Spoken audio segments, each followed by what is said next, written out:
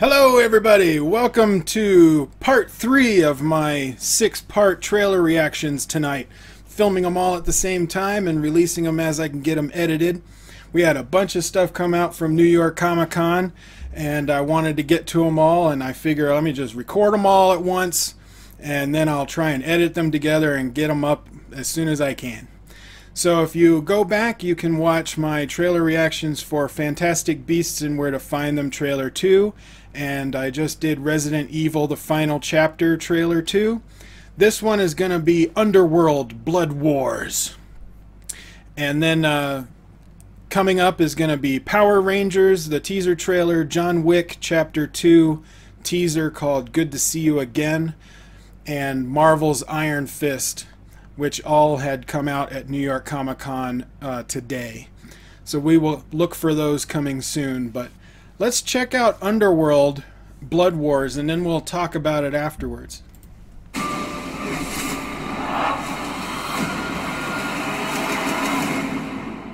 Kate Beckinsdale.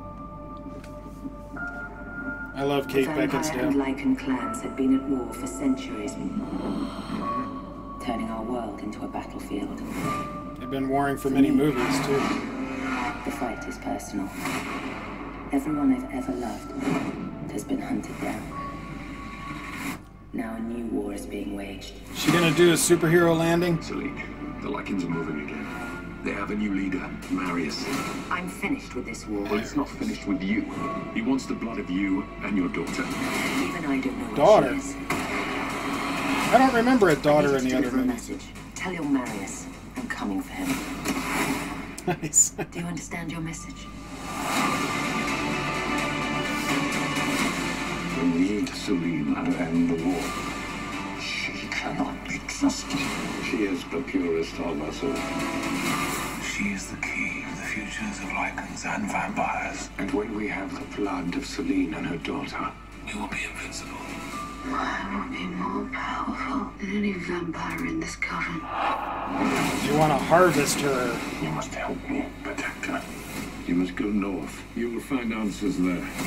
If you want to win this war, you will need to go further than even a warrior of your renown has ever ventured before.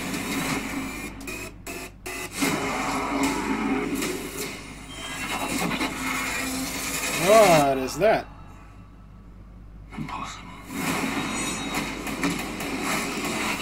Is she like the Flash? There's nothing stopping her now.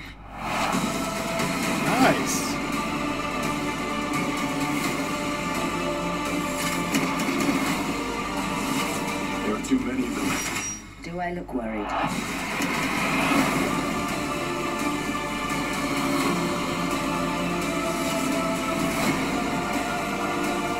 All I want is your blood. Come and get it. Oh, great. I like outdoor snow shots. Underworld. Blood Wars. Coming soon. yeah, okay, I like that. Uh, I like the Underworld movies. I think the last one, what was it, the Lycan one, I thought, from what I remember, was just okay. Uh, but I liked the other ones. The first one I liked the most, of course. I think that was the best written and uh, was shot the best. The other ones I thought were just fun. They were fun. This one looks like it shot really well. I'm liking the cinematography and where they're placing the camera, the direction. Uh, it reminds me of the first movie where you have like wide shots with up angles of jumping. Uh, they'll probably do that a few times. I was hoping she would jump off the building and do a, like Deadpool would say, superhero landing! Superhero landing! Because she did that in the first movie, so why not? Um, there look, it looks like they're going to try and harvest her blood because she's a pure-blooded uh, vampire. I'm assuming because the bad guy can do something with it to make themselves even more powerful.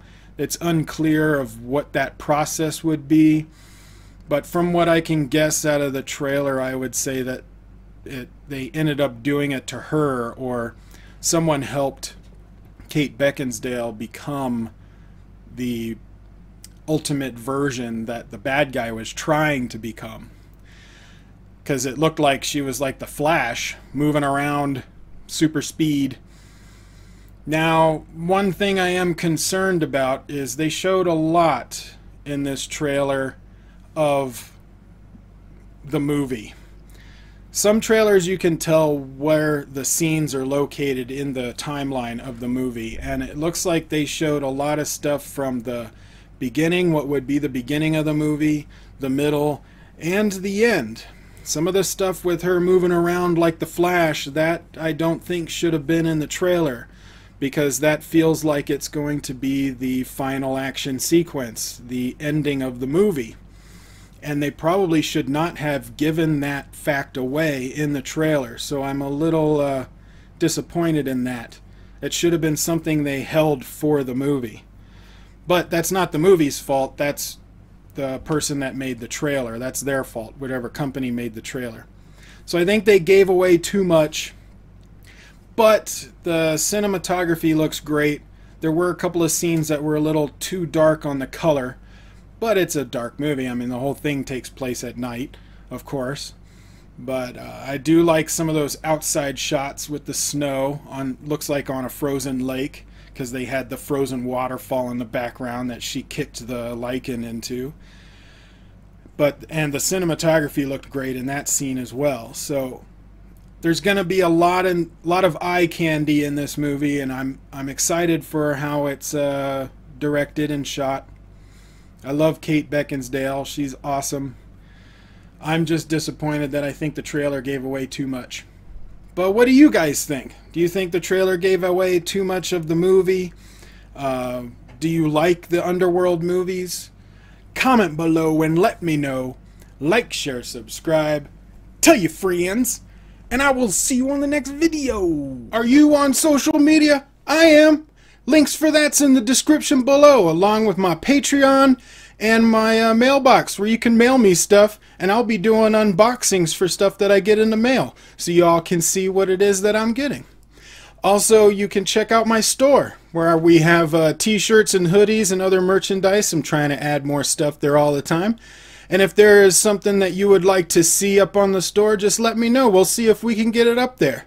Right now, it's mostly t-shirts, male and female, all kinds of different colors, and a hoodie that says Khan said I'm awesome, because if you support the channel and buy a shirt, you are awesome! I say you're awesome, and that's why the shirt says you're awesome.